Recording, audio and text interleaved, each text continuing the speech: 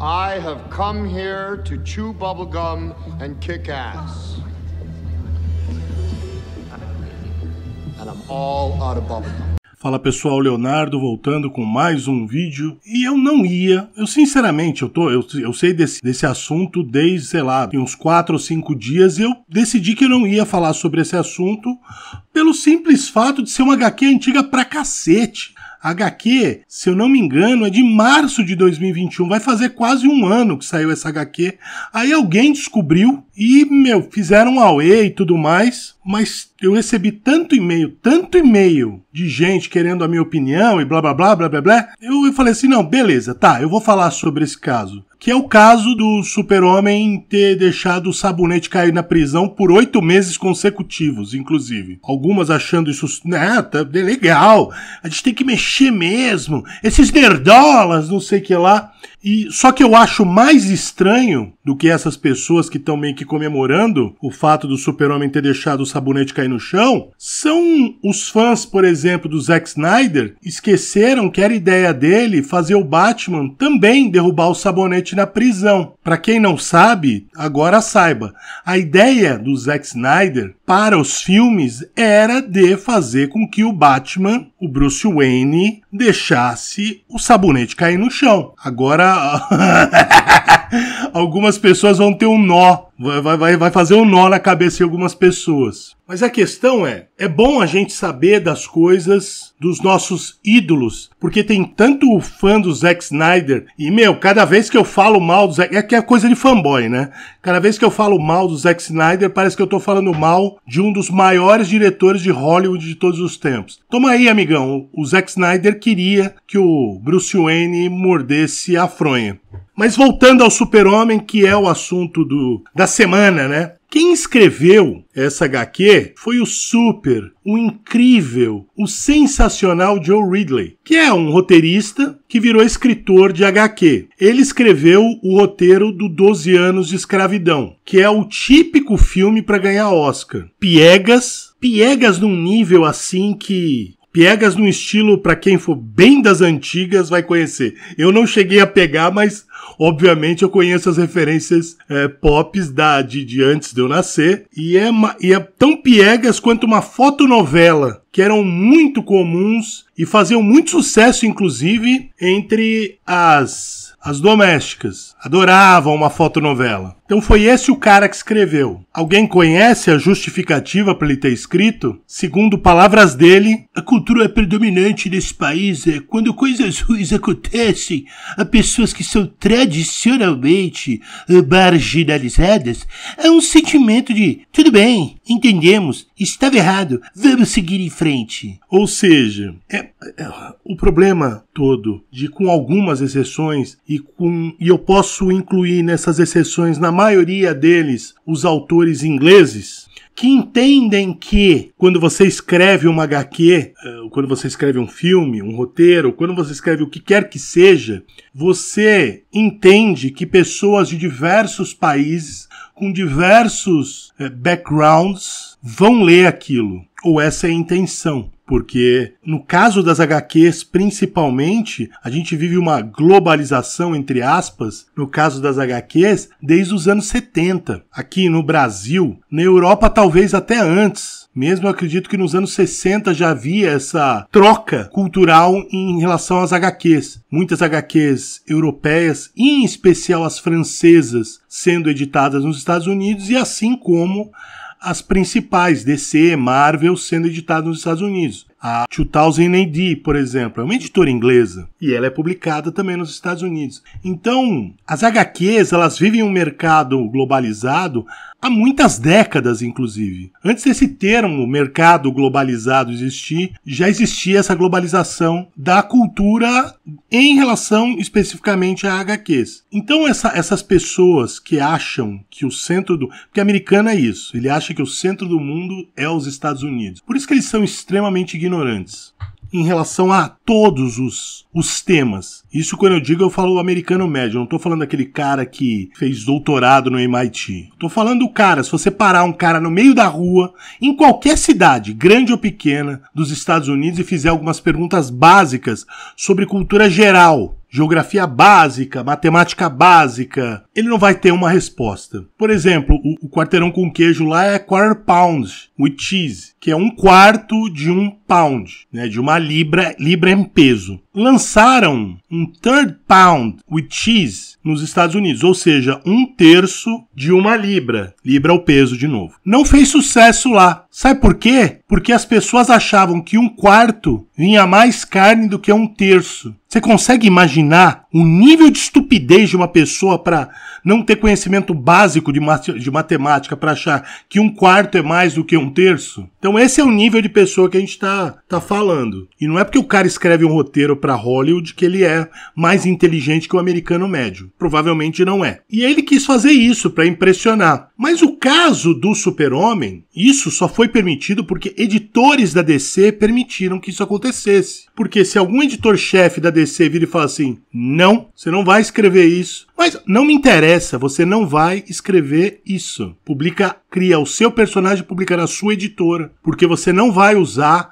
muito menos o Super-Homem para fazer isso. Mas não houve, claro que não houve esse tipo de, de proibição, de direcionamento, para usar um termo mais leve, é, em relação a, a editores. O editor direciona, ele diz: olha, esse caminho que você está tomando, não quero. E acabou. Quando o editor fala não quero, é porque isso não vai ser publicado. Você está perdendo seu tempo e eu quero que você produza. Basicamente é isso. Mas o que vem acontecendo com o Super-Homem nos últimos seis, oito anos, talvez um pouco mais, talvez um pouco menos, não vou saber de cabeça, é uma necessidade de diminuição do personagem. Isso aconteceu com o Batman, por exemplo, do Tom King, que é um outro paspalho, um outro jumento, que fez o Batman, transformou um Batman num cook, num manso, num Zé Ruela, num babaca, para falar a verdade. Inclusive aquele arco do casamento com a mulher gato, pelo amor de Deus. Mas o Batman, eles têm um pouco mais de receio de transformar ele num completo paspalho, porque de uns anos para cá o Batman tem tido uma importância eh, maior do que o Superman em vendas, porque não pelo Batman em si, mas por conta da Batfamília, né? Porque você,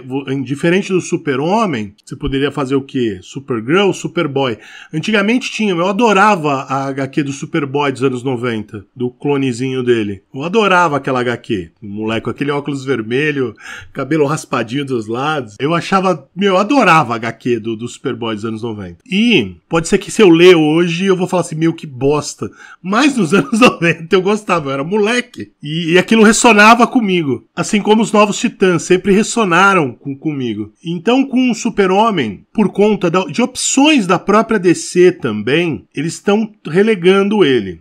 E de uns anos para cá, tentando desmistificar, bem entre aspas, o papel que o Super-Homem tem. Uma necessidade, inclusive. Porque o Super-Homem era e deveria continuar sendo imutável no sentido de ser a maior autoridade moral do universo DC. Inclusive, quando fizeram aqueles crossovers com Watchmen, com o Dr. Manhattan, o próprio Dr. Manhattan fala isso, que é o um único ser, um único ser imutável em todas as, as realidades. É o super-homem. Infelizmente, o alcance do canal não é o que ele poderia, essencialmente porque o conteúdo não é querido pela grande corporação. Então, por isso eu peço o apoio de cada um de vocês acessando o site www.apoiocoletivo.com/geekvelho e apoie o canal e lá você vai ter algumas vantagens em se tornando um apoiador do canal. Muito obrigado. Porque mesmo quando você pega o super-homem soviético, ele recebeu uma lavagem cerebral, que é muito comum em regimes ditatoriais. É aquela coisa que eu falo. Todo mundo adoraria pensar que no regime do bigodinho ia ser a resistência, mas 95% das pessoas não seriam a resistência. Iam estar tá lá batendo palma igual foca. E o super-homem, por ser ainda uma criança, quando foi adotado pelo, pelo regime, ele sofreu uma lavagem cerebral. Mas isso que torna o super-homem imutável. Quando ele percebe, quando ele tem a real noção do todo, a imutabilidade moral do super-homem entra em ação. E é uma questão hoje de diminuir, não estou nem dizendo porque ele é homem, mas principalmente por conta dessa imutabilidade moral do personagem em destruir ele. Porque na cabeça dessas pessoas, o super-homem representa tudo o que tem de pior, porque representa visões do passado. E eu vou te dizer uma coisa: escritores liberais, fizeram excelentes histórias com o Super-Homem. Escritores conservadores fizeram excelentes histórias com o Super-Homem. Mas, para ser mais exato, as grandes histórias, os grandes arcos do Super-Homem foram escritos por escritores liberais. Mas só que esse pessoal vê até mesmo os liberais de 20 anos atrás como inimigos. É só ver como eles veem o Rick Gervais, o, o Bill Maher, o Dave Chappelle, o John Cleese, o John Cleese, meu, que cansou de criticar o governo Thatcher, por exemplo, e tantos outros, essas pessoas são vistas hoje como inimigo. Porque são pessoas que, na visão deles, meu, esse pessoal aí tem que ser radical. E então o super-homem representa muito isso, e há uma necessidade de destruir esse legado, assim como há necessidade de tentar sempre que é possível cancelar um Rick Gervais, um Dave Chappelle, um John Cleese. Outro dia mesmo ele estava reclamando de uma de uma matéria que fizeram sobre ele e a filha dele, acho que no The Sun, e a matéria era completamente inverídica, uma daquelas coisas para destruir reputação, mas ele conseguiu resolver Aí ele não entrou em, em, detalhes, provavelmente legalmente, antes que a matéria fosse mesmo publicada, porque ela era toda baseada numa mentira. Só que essas pessoas têm o. Ou elas estão muito velhas e, meu, foda-se. Ou elas têm o fuck you money, né? O dinheirinho do foda-se. Que, meu, o que, que, você vai fazer com o Dave Chappelle, que foi um cara que recusou 50 milhões de dólares por mais uma temporada do Dave Chappelle Show no, no Comedy Central, simplesmente pelo fato dele não estar tá se sentindo mais bem na emissora e não querer fazer aquilo. E mesmo assim, o acordo dele com a Netflix, o último stand-up dele, ele recebeu 50 milhões de dólares. Se você parar para pensar, ele recusou 50 milhões de dólares há 15 anos atrás, que valem muito mais do que 50 milhões hoje. Muito mais do que dinheiro. Não dá para cancelar um cara desse. Ele tem o fuck you money. O Rick Gervais a mesma coisa.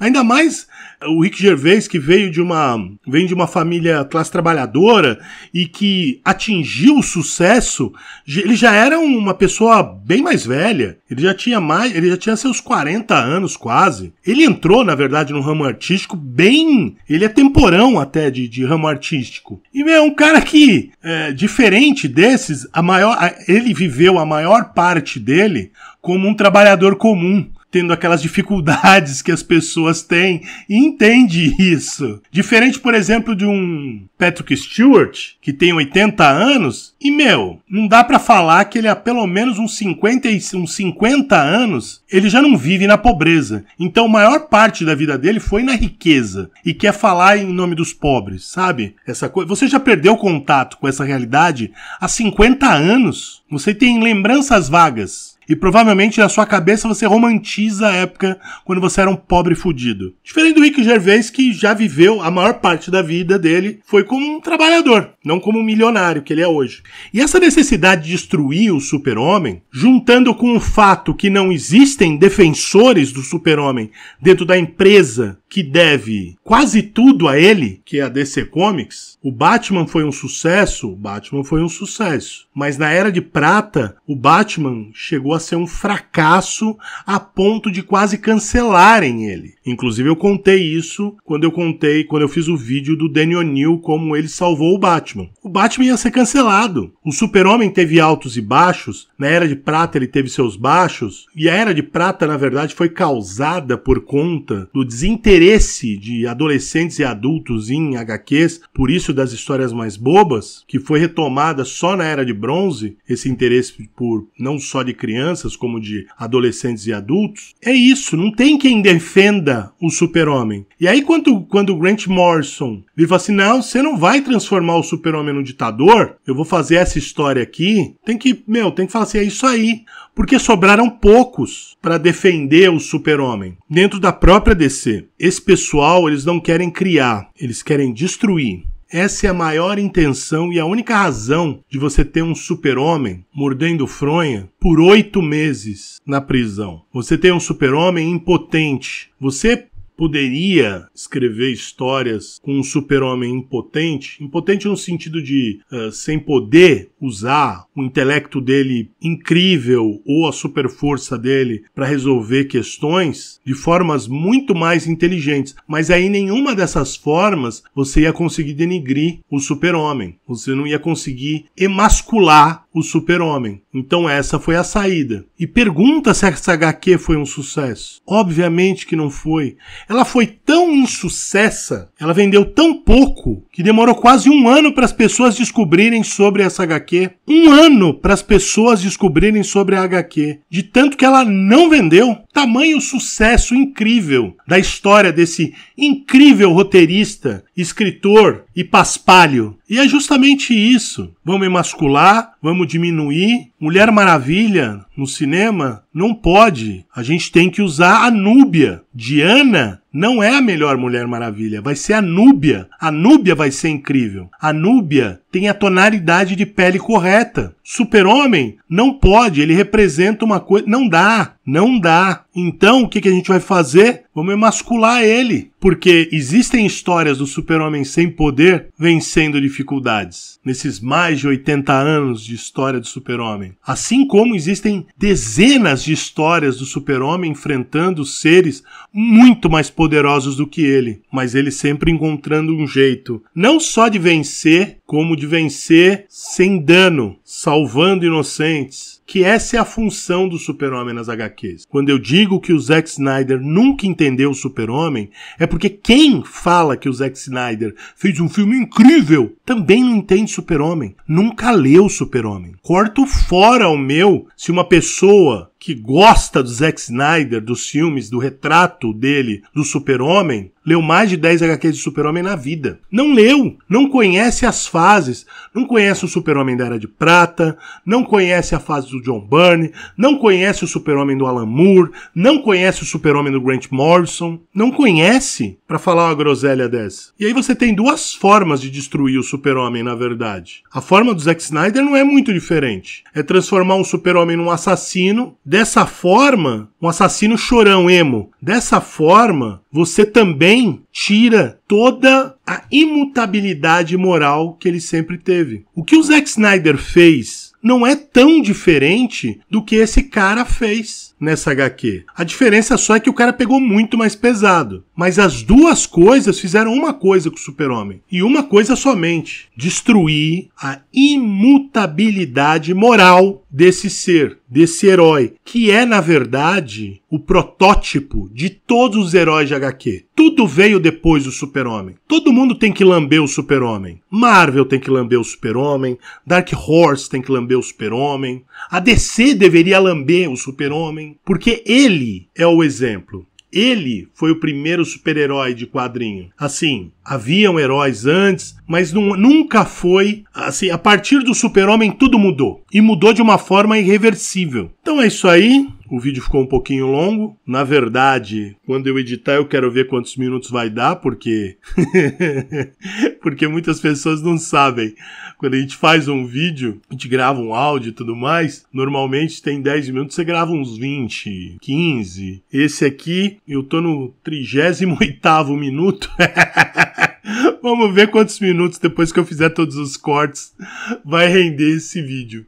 Então é isso aí, deixa a sua opinião e até a próxima. Se você está pensando em fazer financiamento coletivo, usa o apoio coletivo. É esse o site que eu estou usando e, meu, não tenho absolutamente nada para reclamar deles.